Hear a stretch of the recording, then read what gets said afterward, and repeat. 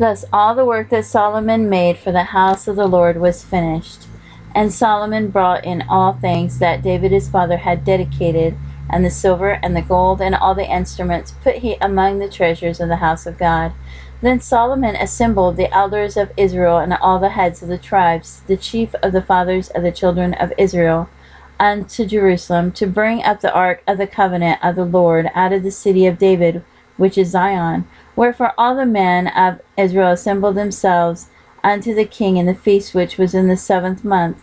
And the elders of Israel came, and the Levites took up the ark, and they brought up the ark, and the tabernacle of the congregation, and all the holy vessels that were in the tabernacle. These did the priests and the Levites bring up. And King Solomon, all the congregation of Israel that were assembled unto him before the ark, sacrificed sheep and oxen, which could not be told nor numbered, for multitude. And the priests brought in the ark of the covenant of the Lord unto his place to the oracle of the house into the most holy place, even under the wings of the cherubims.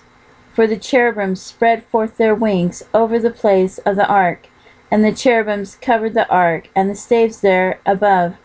And they drew out, out the staves of the ark, that the ends of the staves were seen from the ark before the oracle, but they were not seen without.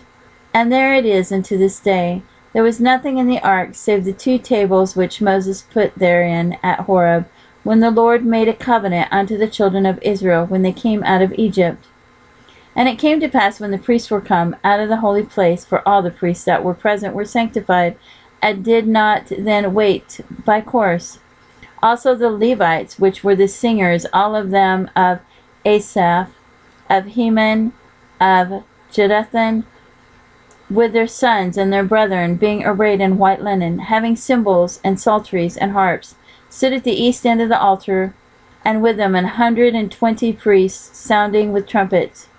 It came to pass, as the trumpeters and singers were as one, to make one sound, to be heard in praising and thanking the Lord, and when they lifted up their voice with the trumpets and cymbals and instruments of music, and praised the Lord, singing, for he is good, for his mercy endureth for ever. That then the house was filled with a cloud, even the house of the Lord, so that the priest could not stand to minister by reason of the cloud, for the glory of the Lord had filled the house of God.